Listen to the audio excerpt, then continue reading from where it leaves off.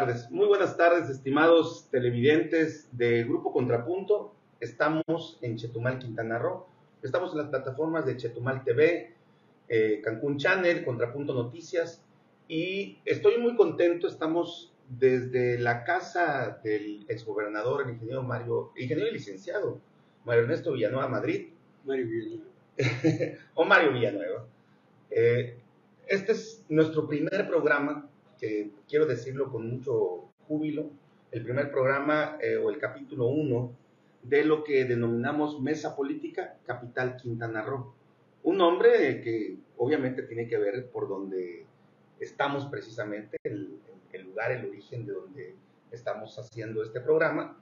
Y pues yo estoy muy contento como eh, representante del Grupo Contrapunto, el que pues mis compañeros y el ingeniero María Nueva pues obviamente permitieran que los quintanarroenses y todo el mundo tuvieran este acceso a este programa, porque pues realmente lo hacemos sí o no, aparte por no una pasión propia, también porque queremos aportarle algo a nuestro Quintana Voy a, mencionar, si me lo permiten, de derecha a izquierda, ya sé que el anfitrión es, es, en la casa, es el ingeniero Mario Nueva, pero vamos a, a respetar esta regla de derecha a izquierda. No quiero presentar al periodista Javier Chávez Atasca. Buenas tardes, Javier. Buenas tardes, Jonathan, a todos los que siguen esta propuesta, que es la mesa política.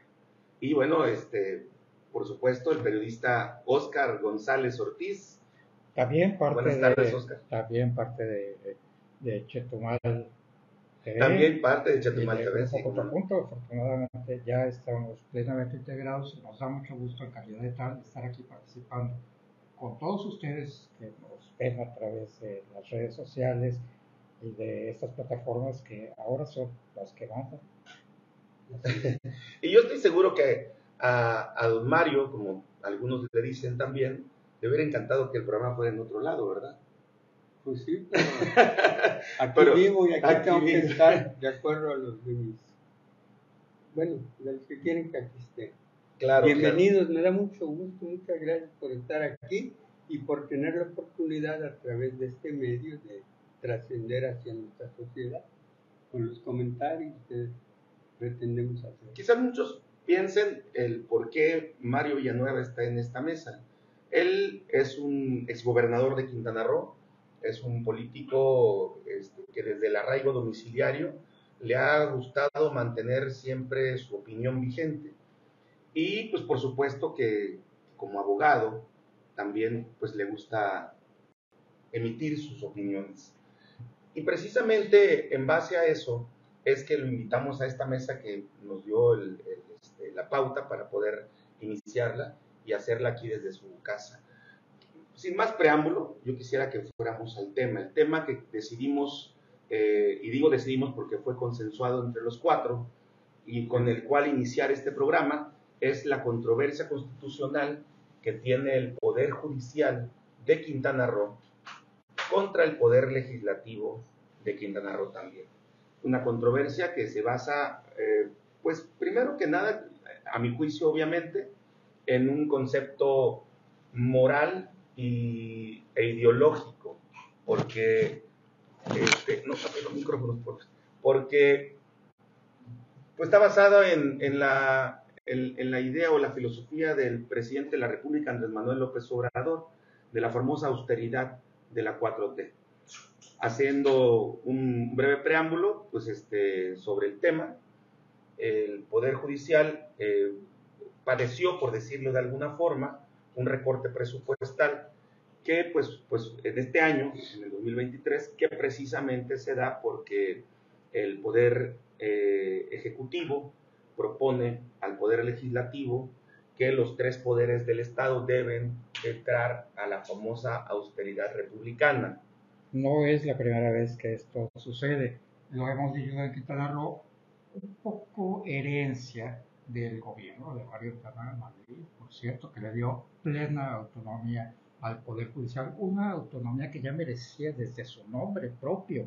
Es poder del Estado, no es un apéndice del Ejecutivo y de alguna manera estamos volviendo a esta idea de que los poderes legislativo y judicial son algo así como hijos pequeños del poder ejecutivo. En el caso del nivel del orden de gobierno de la República, hablamos del presidente de la República con la Suprema Corte de Justicia de la Nación del Poder Judicial y el Congreso de la Unión. En el caso de los estados es parejo, somos una república, nos parecemos en eso, pero también nos parecemos en lo malo y creo que lo estamos copiando de una manera bastante poco elegante. Yo quiero señalar rápidamente eh, la, la situación, la circunstancia muy concreta de Quintana Roo. Hay una política, por supuesto, de la austeridad franciscana del presidente López Obrador, pero también una realidad muy complicada para el manejo de las finanzas. Hay un boquete enorme y eso también pues provoca, en el caso de la gobernadora Mara de Sama, pues recortar estos recortes a los poderes, a los órganos descentralizados, en fin, o sea, es algo que es muy necesario, pero también aquí lo que llama la atención es esta ofensiva, esta demanda de controversia que ha dejado, ha generado suspicacias, el motivo de fondo. La transgresión, ¿no? O sea, es lo, que, lo que deriva. Eh, ingeniero podría considerarse insólita esta controversia constitucional. Decía Oscar que desde mi mandato se dieron acciones para la autonomía del Poder Judicial. Al llegar el gobernador Hendrix echa todo para atrás y surge la primera controversia que presentaron los, los magistrados eh, dirigidos en ese entonces por la presidenta entonces del Poder Judicial que era eh, Lisbeth Lloyd Sonencalada. Y hubo un conflicto ahí de poderes entre el Poder Judicial y el Poder y el Poder Ejecutivo. Ahora, ¿qué es lo que está pasando ahorita?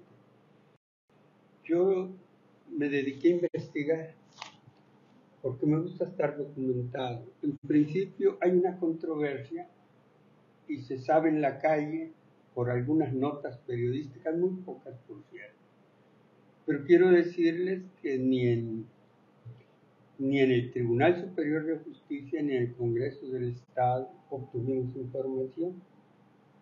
Se dice que el Tribunal Superior de Justicia está queriendo manejar esto con absoluta discreción para evitar que se pueda pensar que hay una confrontación de poderes, en especial con el Ejecutivo. De la podría mencionar la información que, de la que me ha agenciado en principio, para que sepan que la controversia es posible legalmente.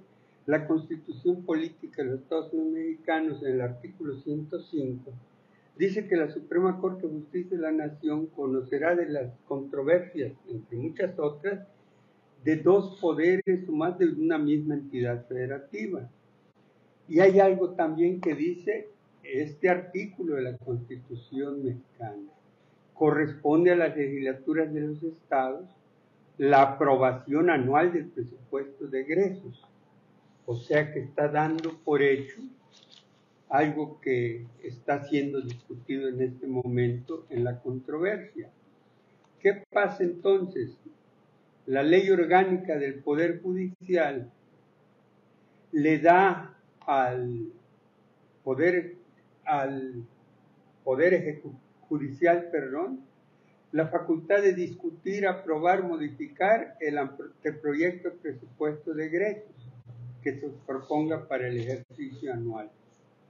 Y la Constitución dice que el supremo poder del Estado se divide en tres, todos lo sabemos, claro. legislativo, ejecutivo y judicial, y que la colaboración de poderes es fundamento del equilibrio del poder público, que esto es lo que pudiera estar a discusión en la, como consecuencia de la controversia, si el equilibrio existe o no.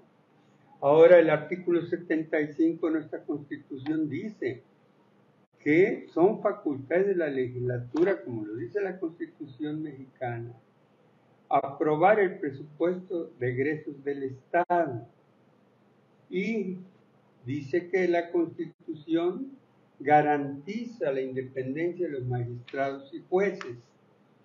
Aquí está el concentrado de lo que es la controversia constitucional, que no hallamos ni en el Poder Judicial ni en el Legislativo, pero yo no sé por qué lo ocultan o no quieren dar si esto es público en la página del Poder Judicial de la Federación. Sí, porque se intentó obtener este, por la vía este, normal el documento y, lo negaron. Pues sí, lo negaron y, dijeron que, pues era, estaba reservado. Por favor, ¿quién dice que es reservado y qué no es reservado? No hay nada reservado en este país. No, además. Constitucionalmente no hay nada reservado. Esas son invenciones pues neoliberales. Eh, eh, no, es una respuesta de algo que les está picando. Claro. Eso siento yo. Les está preocupando que ya que se presentó una controversia, haya una complicación política, que tú lo has señalado sí, antes. Efectivamente. ¿Quieres decir algo, Javier? Bueno, en nuestros casos se puede entender muy bien esta reacción. Es, está bien fundamentada, por supuesto. Es legal, es política pero también sorprende que, por un lado, en la vida real hay un solo poder. En la tradición política mexicana es el Ejecutivo. En los hechos. En los hechos. Por supuesto, nos enseñan en la escuela que son tres poderes. Todo el mundo lo sabe. Eso lo he vivido yo, tienes razón. Claro, ingeniero. un solo poder metí aquí adentro. Sí, así como lo plantea el ingeniero. Y lo otro, muy importante, eh, hay un solo equipo que domina como los tiempos del ingeniero Mario Villanueva. Eh, la 4T. Son muchas cabezas, muchos intereses, pero también es un solo equipo, un ejército, digamos, trigarante, ¿no? Claro. El verde, morena, en fin. Y aquí en este caso son un equipo. Aquí lo que llama la atención es que Heidel Cebada Rivas, eh, el magistrado presidente del Tribunal Superior de Justicia, pues haya reaccionado por esta vía. O sea, cuando tiene que haber una reacción política interna, un acuerdo interno, para que vayan en sintonía. Yo, Tal vez un intento. Yo creo, yo considero, en el tema político, ya hablamos un poco de lo, de lo jurídico, en el tema político, yo considero que se le da mucha particularidad e importancia a un personaje de cada poder. Es decir, si hablamos del judicial, decimos Hayden Cebada, si hablamos del legislativo, decimos Renan Sánchez Tajonar, y si hablamos del ejecutivo, que eso es irremediable, hablamos de la gobernadora Mara de Bueno, ahí es hasta de... Ahí Por eso, ahí, sí no hay manera de... Pero, pero yo estoy convencido de que Hayden Cebada se vio obligado a poner la controversia constitucional porque hay magistrados que no pertenecen al grupo político de la gobernadora y que por supuesto también pues están cuidando sus propios intereses. Y también creo que por otro lado Renan Sánchez Tajonar tuvo que hacer lo que le, lo, que le dictara este, los acuerdos políticos con la gobernadora para poder hacer las reducciones pertinentes.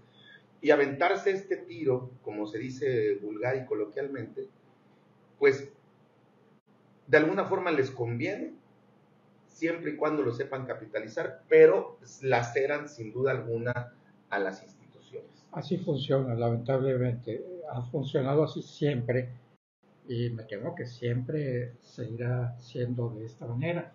Aquí el poder de poderes es el ejecutivo, lo sabemos muy bien, por más que nos enseñen en la primaria, como dice Javier, y lo dice muy bien porque está en nuestro espíritu, pero no está en nuestras normas no está en nuestras formas de ser como animales políticos.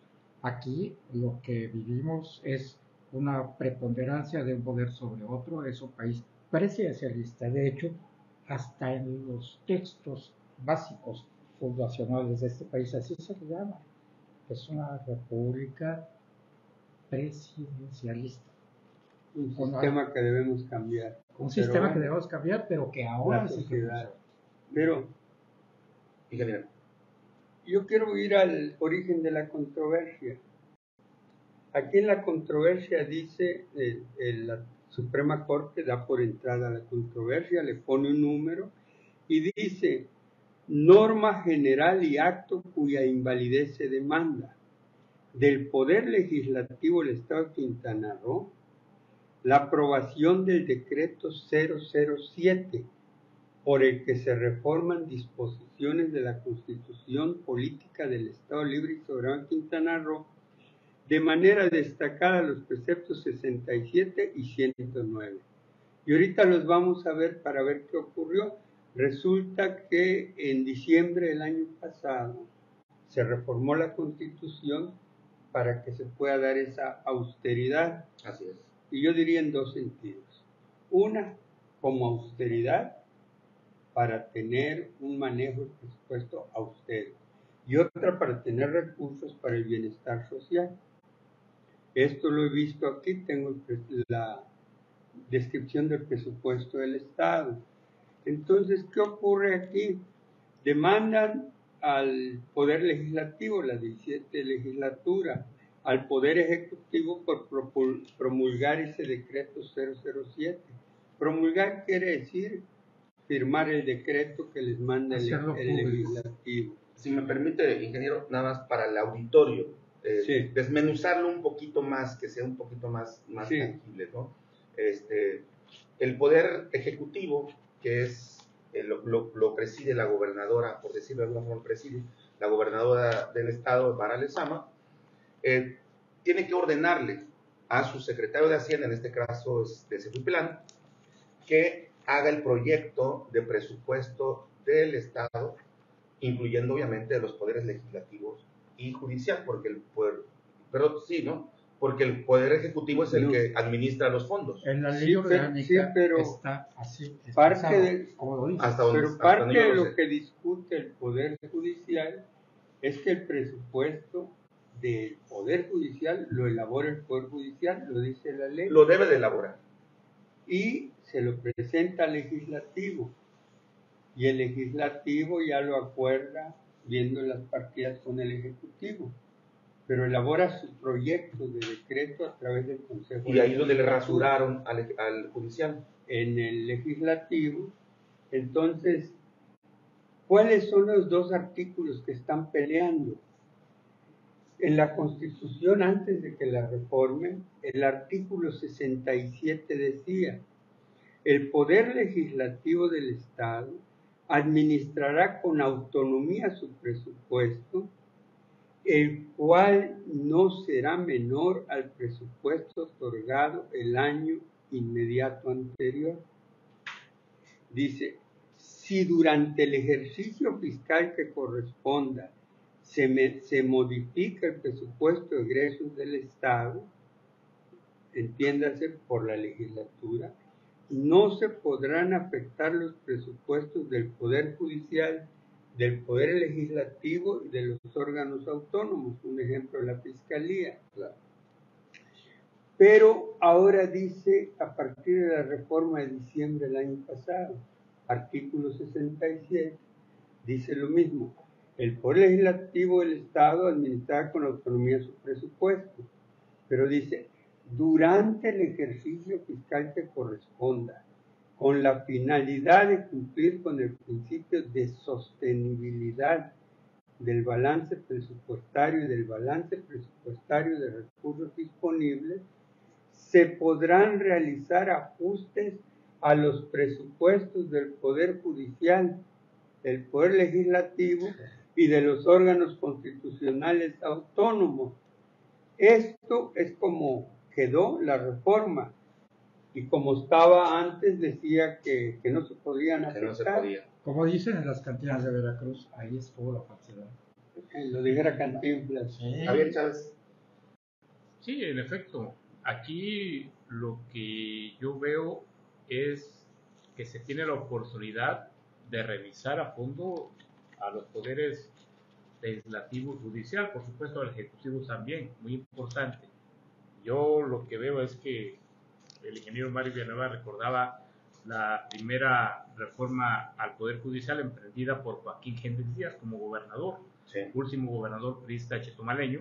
Y bueno, en ese caso hubo una reacción de Lisbeth Loison encalada. Eh, Joaquín Hendrix con su reforma quiso aumentar el número de magistrados para poder restarle fichas, contrarrestar el poder de Lisbeth Loison encalada. No fue una reforma al Poder Judicial que persiguiera otros fines, solamente el control por parte de Joaquín Gérez. no prosperó. No, Bueno, no, sí, finalmente pero es sí. que- Sí, sí prosperó. no es que la- Ganó. No para los fines que quería conseguir. Sí. Finalmente lo sí lo logró, porque lo que, bueno, no debo de ir a mi gobierno, pero lo que yo promoví con González Castro, presidente del tribunal, en ese tiempo, fue de que los magistrados del tribunal fueran propuestos por el propio tribunal ante el Poder Legislativo. Lo tradicional o lo legal era que lo hiciera el El Ejecutivo. Y cuando entra Hendrix y ve eso y dice, no, no me conviene, y manda una reforma para que él tenga el control y se llegó a la controversia. Hay otro artículo que aquí en la controversia pelea el Poder Judicial, el 109. Dice, el Poder Judicial del Estado administrará con autonomía su presupuesto. El Consejo de la Judicatura elaborará el anteproyecto, lo someterá a la aprobación del Pleno.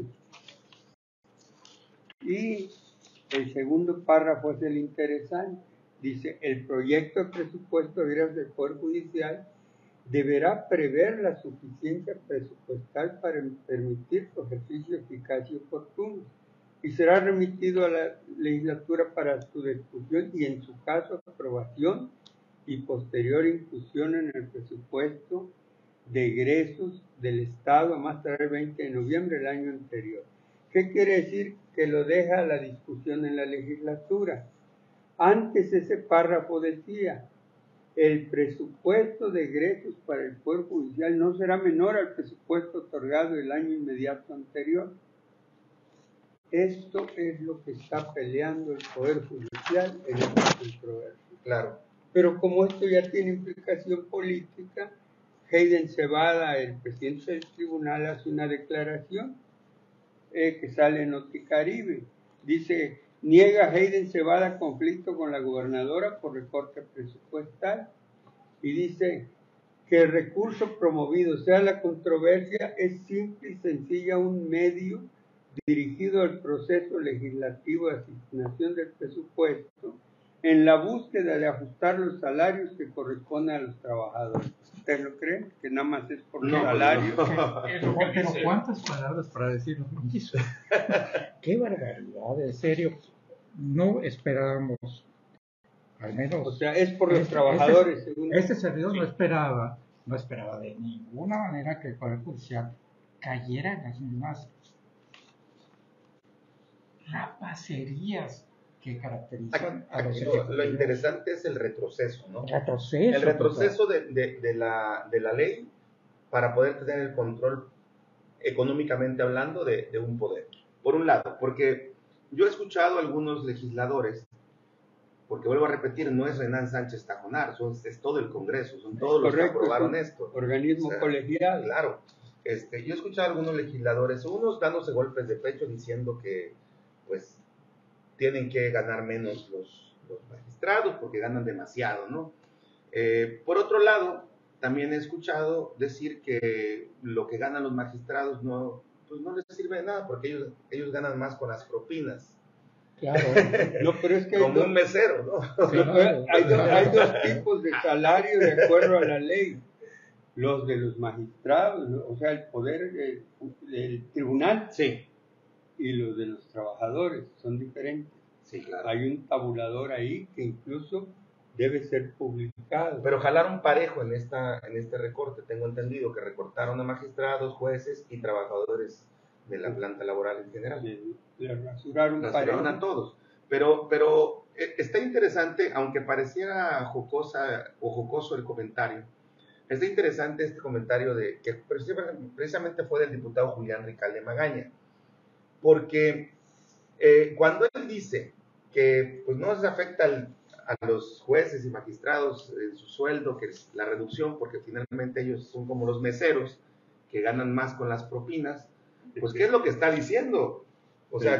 Bueno, que, La corrupción. que- que- que la corrupción impera. en- Ahora un paréntesis, se ha dicho, no es leyenda urbana, sino hay mucha certeza, cuando un diputado aprueba una iniciativa turnada por el Ejecutivo, hay lo que se llama pago por evento. Claro, O sea, recibe una lana los por aprobar iniciativas también aplica para los diputados. no solo los presupuestos, sino también este el ¿cómo se, se me fue la, la palabra? La cuenta pública. También, La un cuen- ejemplo. sí, la cuenta O aprobar deuda, endeudamientos. Había antes de mejor dicho. Y cuentas anteriores, Claro. que es muy importante. No sé si, si, si a- actualmente se dé, pero antes se juntaban en grupitos, los diputados iban a visitar a presidentes municipales uno por uno Sí. para la aprobación de la cuenta pública. Era así mira, como, era, era, iban con su ramo sí, a aquí está la la rama. rama. Aquí, Aquí está la rama. rama, muy agradecida.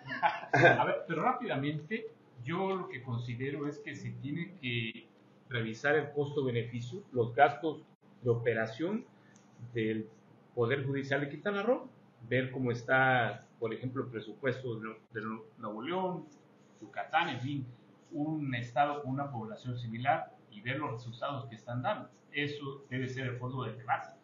O sea, te estoy dando tal presupuesto y me estás generando eso.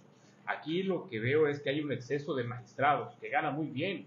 Tienen que ganar bien, Claro. eso queda claro, pero son muchos magistrados y se está descuidando el tema eh, de las funciones de no- del Poder No Judicial. podría juzgar si son muchos o son pocos. En verdad, viendo las tareas, yo conozco algunos, he trabajado para algunos en mis eh, funciones normales de comunicación Sí.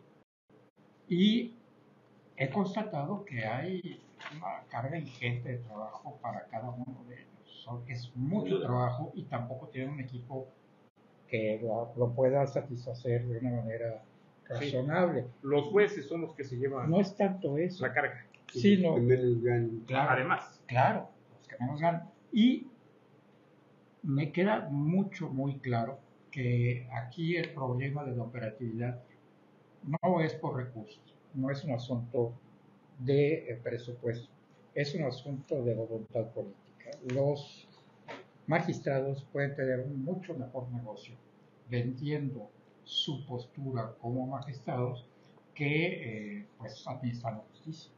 Ahora, yo, yo creo que ese tipo de controversias se dan más por esta dualidad del gobierno verde con Morena que, que por la 4T como tal. Es decir, eh, Javier Chávez Atasca dijo algo muy importante en un principio, el, el boquete económico que padece el Estado es muy grande. Sí. La deuda obliga a que haya sin duda recortes en muchos aspectos, ¿no? Eh, pero yo he subrayado en muchas ocasiones que la forma en cómo se dan las cosas, eh, sin cuidar la- los pactos políticos que antes se cuidaban, eh, tiene mucho que ver más que nada con el régimen del Partido Verde que el de Morena. O sea, y- y- in- independientemente de que Morena también tiene esa, e- ese halo este, de dictadores, ¿no? Por decirlo de alguna Pero forma. también tiene sus principios y el Partido Verde no tiene ni principios ni fin. No sabemos de dónde empieza ni dónde Yo acaba. no lo veo como un asunto de partido.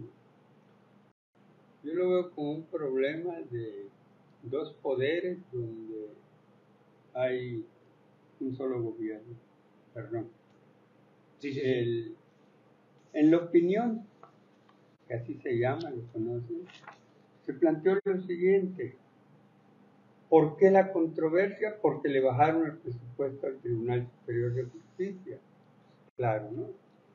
Pero parece una desobediencia política a Mara Lezama que lo puso en la presidencia del tribunal. Si hubiera esto del verde que se le sale el huacal a Morena, habría realmente un conflicto de, de operación de poderes, le llamaría. No puedo pensar que sea o no sea, es un supuesto. Claro.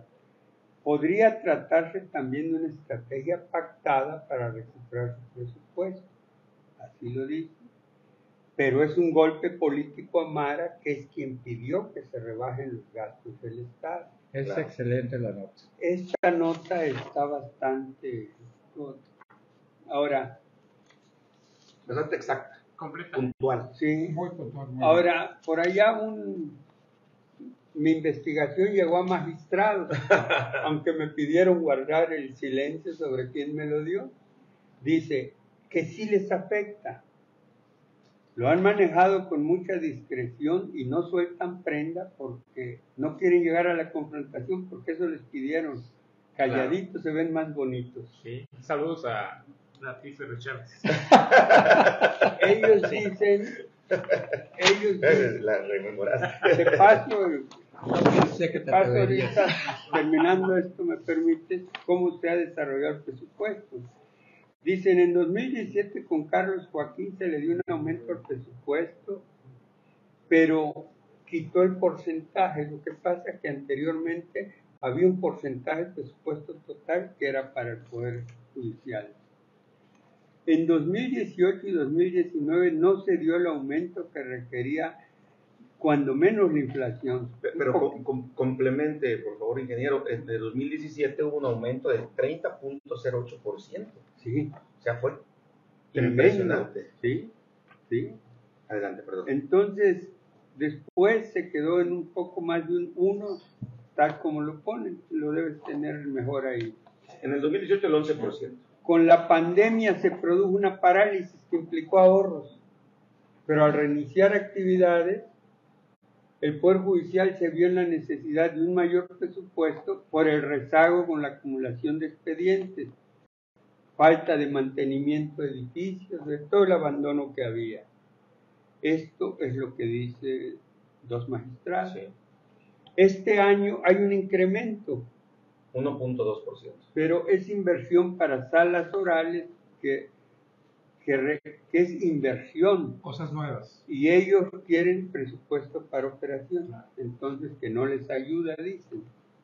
Entonces los ahorros, dicen ellos, que está haciendo el legislativo hacia el ejecutivo, van a programas sociales con incremento en el presupuesto de las dependencias que lo realizan.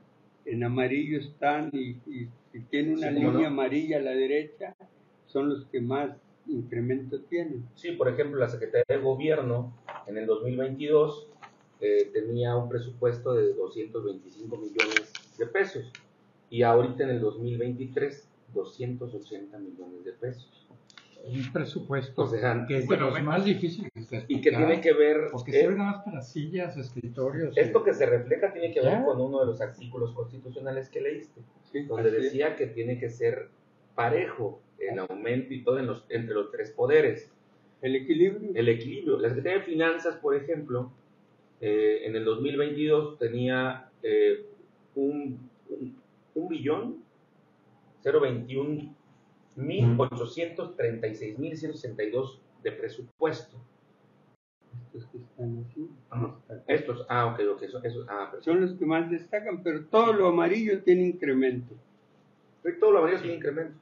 No más que el que tiene dos rayitas tiene más incremento. Pero turismo es una vergüenza. Turismo 53 millones y subió a 60. Bajísimo. Todo lo, O sea, todo lo amarillo tiene incremento. Yo pensé que todo lo verde tenía incremento. Bueno, hay algo Bueno, que quiero señalar rápidamente. Acuérdate que el amarillo tiende a verde, Sí, cierto. Quiero señalar azul. Es Que- parte de. parte de- hasta cierto punto se justifica un aumento, rápidamente un paréntesis, Sí. un aumento en el presupuesto del Poder Judicial, porque en los tiempos de Mario Villanueva eh, la impartición de justicia era un problema menor. Ahora hay un aumento del delito significativo. Enormemente. Y por ese lado se justifica un aumento. Pero, pero ve- Adelante. ve, o sea, datos irrisorios. En la Secretaría de Salud se ejerció un presupuesto de 85 millones en el año pasado. Y el aumento fue solamente de poco más de un millón de pesos. Dengue, regreso Pero de la COVID. el recurso estatal, ¿no? Porque hay Sí, sí, sí. No, ese es el presupuesto, Es el presupuesto del. Estado, Sí, del Estado. Sí. Y en el despacho del Ejecutivo, según se ve aquí, este, hubo una reducción Pero de ve, 194 millones a 168. pero ve la representación del gobierno en México. La- sí, sí, en los órganos desconcentrados, ¿no? No, por ahí Representación del está, gobierno. no, dice representación. Así, a ver. en la casona del Álvaro Obregón. De, de la, Sí, representa- la avenida Álvaro La Obregón. La representación del gobierno del Estado en la Ciudad de México, en la colonia Roma, precisamente sa- subió de 12 millones a 15 millones. O sea, subió 3 millones. Pero es bajo, ¿no? No me parece algo desproporcionado. No, no es desproporcionado, pero en porcentaje de 12 a 15 tienes 3 millones que Claro. representaban la cuarta parte. ¿sí? Sí, ¿Es sí, correcto? sí, pero no, no me por ahí parece a así la como Secretaría de. Educación le dan un recorte. Lo que no tiene perdón de Dios es la Secretaría de Salud, ¿no? Muy O sea, bajo. muy bajo presupuesto y, y muy bajo el, el aumento. Y, y lo, O sea, que, un millón de personas lo que, lo que comentábamos, Jonathan, en- ante una etapa que se prevé para este año y el que viene verdaderamente crítica en temas de salud. Sí, como no. Y la salud es clave, ¿no? Dengue. Para empezar, un repunte del dengue impresionante que no se ha comentado casi, como en aquellos tiempos en que era un escándalo. El problema de la COVID, que pues también es Sí, sí, mundial sí, y sí, aquí sí, no sí, nos sí. vamos a librar. Y de- Muchos. ¿Cuántos más? Sí, sí. Ah, sí. La Secretaría de Ciudad Pública también es irrisorio. De 298 No, sí. millones, no, perdón, de 2, millo- 2 billones 298 millones 692 mil 721 pesos, subió solamente 2 billones 555 mil, es decir, subió Nada. Pero Nada. la pública está elevadísimo, sobradísimo, ¿no? subió muy poco. Bienestar tiene un incremento importante. Mm, La de desarrollo social, esa era la política. este sí está interesante, de 203 millones. ¿Quién tiene desarrollo social? Pablo. Bustamante. Ah, Pablo. Ahí se van a ir Pablo otra vez. 203 millones subió a 742 millones de pesos. 500 millones. Sí, es la base del proyecto del programa de De la Sama. 4T, de la 4T, siempre Sí, así funciona. Ah, bueno, sí es cierto, todos los programas sociales. la agencia de seguridad alimentaria, Sí. ahí va a estar, ¿no? No a estar. quiero decir que sea necesariamente mala, pero esa es la orientación y es la base, por eso vemos incrementos tan fuertes. Y, y de ahí puede, puede también basarse el, el- el disgusto de los magistrados o, o de- o- o del Poder ju- Judicial, el que la desproporción entre su presupuesto y sus recortes con la del Poder Ejecutivo. A ver, quiero mostrarles qué, qué dicen cuando menos. menos dos diputados. Julián Recalde dice excesiva y polémica la controversia. Lo que debió hacer Hayden Cebada, el presidente del tribunal, es haber solicitado una ampliación del presupuesto. Esto dice Julián Recalde. No es descabellado. y que el recurso no debió ser en contra del Poder Legislativo, pues los subdiputados solo aprueban el presupuesto que les presentó la Secretaría de Finanzas. Pero, pero disculpe que lo interrumpa, pero el punto ahí no es el dinero nada más. La Claro. controversia constitucional tiene que ver con sus derechos que, Sí. que Sus empezaron. No, no, no. El cambio de la, de la reforma a la ley, en donde le quitan autonomía, Estoy Y- contigo. y, y- Eso y dice. le, o sea, es una cuestión legal, Autonomía, Sí. independencia y derechos adquiridos. Más allá del recurso. Hay algo muy importante. Está en un error Julián Ricalde, o no sé si. No, Lo cierto es que aprueban en efecto, pero previa revisión pueden hacer la No, claro, claro, Claro. Incluso decir, No, no, lo- esta.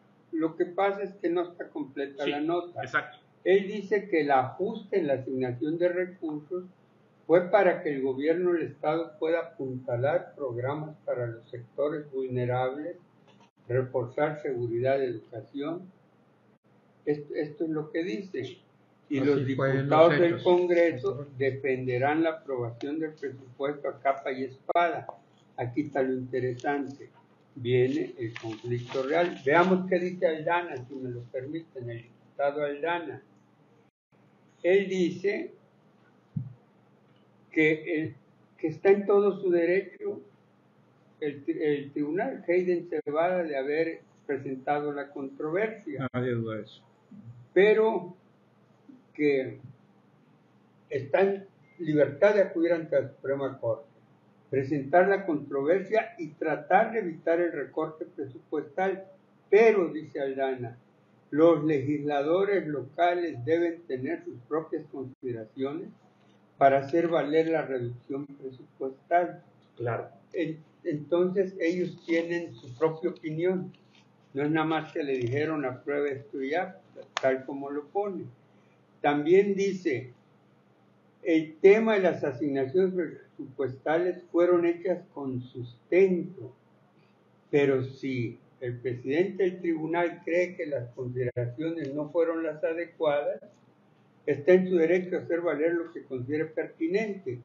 ¿Qué quiere decir? No hay que olvidar que Aldana es quien coordina el grupo Morena. ¿Cómo no? Y está diciendo Morena está de acuerdo con este reporte. Y si quieres hacerlo valer tribunal, entiende Hayden Cebada, vamos a tener el conflicto en la controversia constitucional a fondo. Lo cual puede ser civilizado. Dice, el tema de la austeridad convocada por la gobernadora Mara Lezama debe respetarse por todos los poderes. Y dice, Eso no. Mm, Eso no. No, estoy diciendo lo que él dice. con la autonomía. Yo discuto con él, no contigo. Que la forma de revertir el plan de austeridad es por la vía de la controversia constitucional y si tomó esa decisión está en su derecho, es lo que él dice. Está en su derecho. Pero entonces, aquí es- ustedes, y lo planteaba eh, Jonathan, primero, el origen legal es correcto. La otra, la cuestión de dinero es correcto, tenía y me quitan. Y antes no podían quitarme, cambiaron la constitución para quitarme presupuesto. Sí. Y la otra es quizá la más interesante que empezaste a destacar, la política. Él, en este caso, es inédito, porque es una cuestión que tiene consecuencia política necesariamente. Así es. Algunos dicen, bueno, lo hizo Hayden no por indisciplinado, sino que se quejó con la gobernadora y le dijo el único camino es el legal, vete tu controversia. Pero al hacerlo, pues ya está cayendo en un conflicto legal con el Ejecutivo. Es correcto. Con, con- con Es esto iniciamos, legal, pero no es ilícito. con esto iniciamos los No, resúmenes. no el es resumen. ilícito el político. Eh, si me permite, Sí, ya el tiempo concluye. Con esto este, iniciamos el resumen. Ya dio su resumen. ¿Quiere agregar algo más? No, No. adelante. Oscar González. Estoy en lo, en lo dicho y en general en bastante consonancia con lo que se ha expresado aquí en la mesa. Creo que es un momento importante, pero tampoco estamos viviendo algo extraordinario, ni terrible, ni fatal. Estamos viviendo de alguna manera lo que quisiéramos. Una vida republicana para el Estado.